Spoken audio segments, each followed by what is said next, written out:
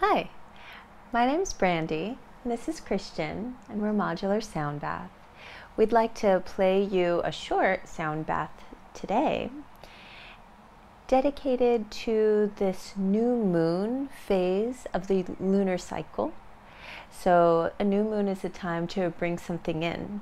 But another thing that just happened is that there was a solar eclipse so that solar eclipse, and in two weeks there, there's going to be a lunar eclipse, that creates an eclipse season.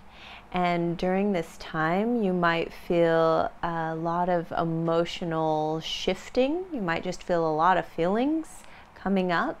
And you might also be honing in to this more shadowy, darker side of yourself and your experiences.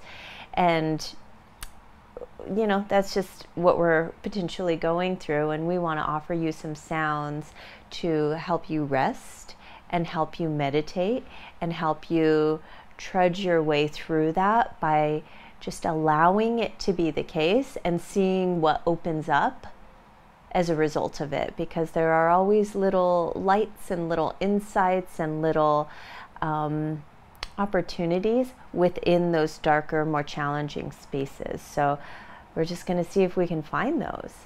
Um, I recommend that you take a moment to make yourself even more comfortable than usual. Blankets, pillows, bed, couch. Take a hand to your chest, take a hand to your abdomen.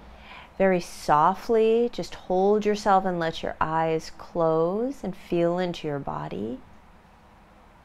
Just feel your breath move through you as you listen to these sounds.